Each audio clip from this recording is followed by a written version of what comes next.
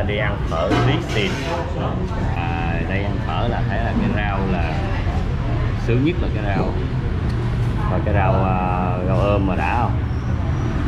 Rồi tiếp theo là này rau mùi nè đúng không? Là quế nè. Đó. rau đây phở bắc á, là phải có cái món này. Tỏi chua.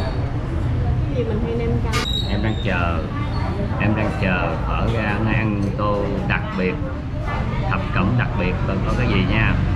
Một bạn là tái viêm một bạn là nạm gân.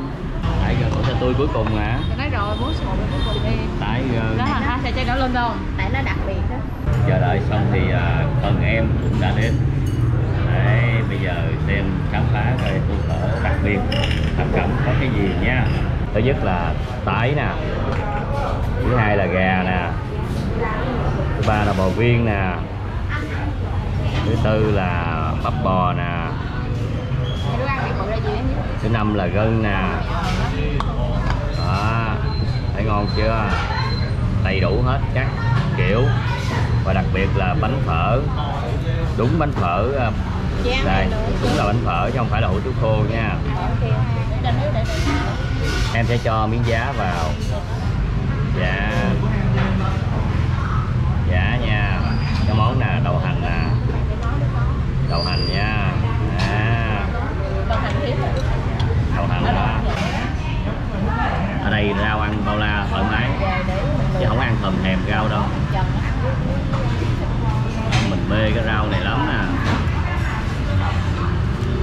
đây ăn không bỏ ờ, không nào cả ở đây cho rau nè rồi quế nằm bây giờ ăn đã không thấy cây quế không chứ không phải dài mà cộng leo ngoe nha Em ướt ờ, đã không quế hả lấy không phải ăn sắc này được có gì đây cắt cắt Còn gai nè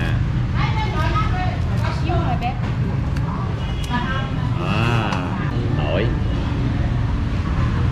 tỏi à, tỏi ngâm giống tỏi tỏi ngâm nè tôi làm mê cái này lắm nè em thử một cái nha đốt nước nè. Hòa quyện lại với nhau.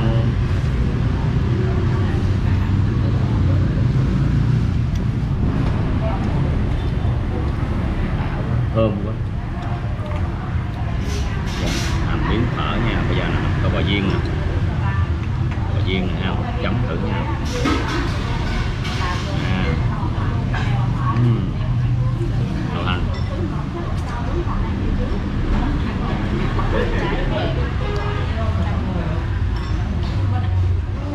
Thích nhất là cái phở nè. Ừ. Mai kia không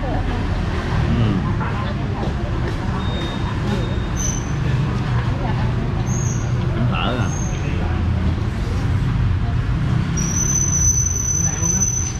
Đã quá gì ơi. Sướng nhất là rau ăn bao la. Mọi thứ miếng rau. Rồi để em ăn cho nó trọn vẹn tô đi chứ chọc thèm mới gì cái gì chửi nữa hẹn gặp lại quý vị ở món khác. Tí quên, xíu nó quên, hồi nó quay bảng giá cho cả nhà mình xem. Cái tô mà em đang ăn là tô mà đặc biệt, thập cẩm, đặc biệt là tô mà mắc nhất ở đây ăn phải là ăn loại mắc nhất. Quý vị biết nghe giá nhiêu không? 50 50 ngàn Việt Nam đồng. Chứ không phải 50 đô đâu, nghe hết hồn. 50 ngàn Việt Nam đồng ăn chắc bơi luôn trong tô này đó. 50 ngàn. Trời ơi. Giá đây quá rẻ luôn. Biết quán này là do cái ông ờ, gần đây ông chỉ nè ông, ông cầm á. Ông cầm ở trăm lẻ chín nè vào dẻo gạo đó hôm qua ông chỉ à.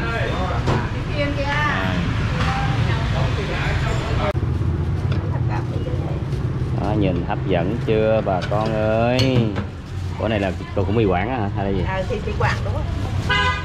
Đấy, bà chủ bán mì quảng bò kho lên youtube ăn đông đông. Ăn bò kho bánh mì hả hủ tiếu đúng rồi. Cái quán này hay nha có chanh đá nữa này. Chanh thiêu chanh thiêu. Chanh thiêu hay chanh đá vậy ta? À, thiêu và đá lộn xộn. Nè cái này là đá mà thiêu lộn xộn rồi mỗi ngày à, ăn một món. Hôm nay thì mì quảng. Ngày hôm qua thì à, phở rồi. Hôm ăn phở này mì quảng. Chờ thử coi nó ra làm sao nha cả nhà mình. Em chỉ thích à, những quán là bình dân lê la đường phố thôi. Giá mềm giá rẻ bởi vì sao? Em là việt kiều nghèo. Không phải việt kiều giàu mà việt kiều này việt kiều campuchia. À con bò kho mọi người nói rằng coi chừng châu kho xin lỗi châu mắt hơn bò.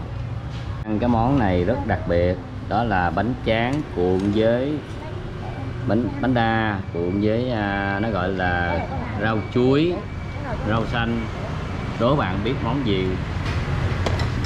Đây món em đã đến. À, đây mì quảng nha các bạn. Mì quảng này thì cái bún nó bún trắng chứ không phải bún vàng. Đó, có hai loại. Thôi kệ cái nào cũng được em dễ chịu. Thì xin thưa quý vị mì quảng có một con tôm có một cái trứng cốt có một miếng đùi gà có một miếng thịt.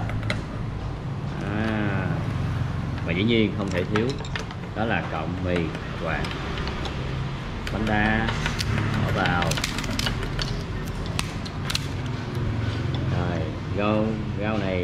Rau bắp chuối các loại rau sống trứng hương các loại rồi rau quế rồi. cả nha cái tô mì đã gì đâu ngon nhất vẫn là rau không có giá trụng à. Anh ơi. Anh cho em dĩa giá ừ. trụng. ngon quá về Việt Nam á nó thật cái vị ăn cái gì cũng ngon nó thẳng ăn cái gì cũng ngon chứ tại sao kỳ vậy thôi đó. Ngon rồi đó. Xong rồi đó. lạ lùng thì ăn gì cũng ngon chứ có lẽ tâm trạng khí hậu tình người và niềm vui cho nên nhiều khi ăn á ta nói là ăn bằng à, không phải ăn bằng cái đoạn thực đâu mà ăn bằng cái gọi là tâm tâm Đó, ăn bằng cái, tất cả những cái giác quan ngon quá thôi em ăn đây mất công bà con thèm nha à, kết quả của à, cái quá trình mà ăn thì nhìn cái tô quý vị biết là ngon hay là dở rồi đúng không chầu ngày hôm nay là tiêu tốn hết một trăm lẻ năm ngàn dễ sợ quá là Đô hay Việt Nam? à, Hàng đô hay Việt Nam? à, dĩ nhiên mình đang ở Việt Nam phải nói là Việt Nam đồng quý vị cái đơn vị. 105 ngàn tính ra là chưa tới 53 mà bốn người ăn. Trời ơi, trời. À.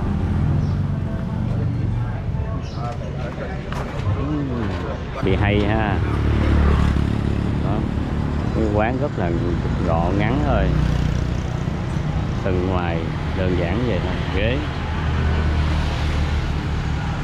Đường đá Cái cái hơi hồng hồng nó hay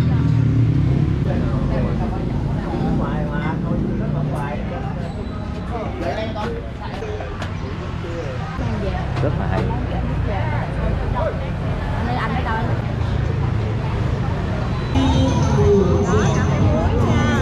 Ông chị Phương phải chạy vậy nè. À. một xoài hai bạc hà. Em biết em ăn gì ta? Hay thử sầu riêng sầu riêng có sợ lên không? sầu riêng đi hả? Rồi vậy thôi sầu riêng